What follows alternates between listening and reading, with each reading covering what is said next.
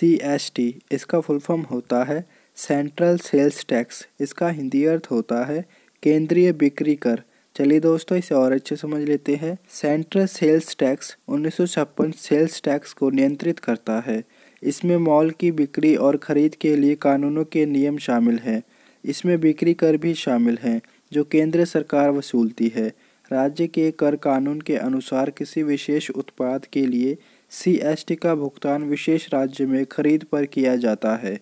दोस्तों, उम्मीद करता हूँ सीएसटी का फुल फॉर्म काफ़ी अच्छे समझ गए होंगे। दोस्तों, ऐसे ही फुल फॉर्म को हिंदी में समझने के लिए आप हमारे चैनल के होम पेज में चेकआउट भी कर सकते हैं। धन्यवाद।